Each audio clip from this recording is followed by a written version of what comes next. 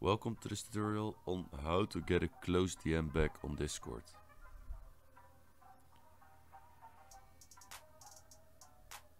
First go to this search bar in the top.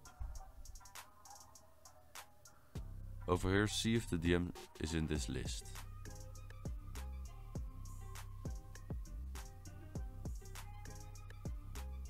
If the DM you're looking for is not on this list, you can try to find it with the search bar in the top. Just type the name of the person you're looking for and he will pop up. By double clicking this you will open the DM.